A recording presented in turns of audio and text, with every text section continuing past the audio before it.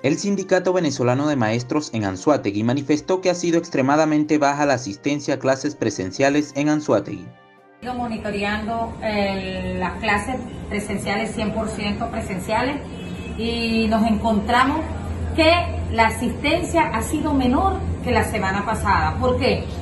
Nosotros dijimos la semana pasada que menos del 50% se habían incorporado a clases por la diversidad de razones y, situaciones que están presentando los, centros de educación y nos encontramos hoy que la situación es más crítica que la semana pasada. ¿Por qué? Porque hay colegios que sencillamente menos del 10% de la matrícula han asistido a clases. La representante gremial denunció que en los colegios no funcionan todos los comedores. Eh, las situaciones que persisten, tanto de la falta de agua como la falta de alimentación escolar, que por cierto, apareció el pollo, pero en otras escuelas apareció fue mortadela nada más, en, el caso de las proteínas. Esa es una de las principales razones que se suma a las que ya existían para que la baja matrícula de los niños no te sea del todo al 100%.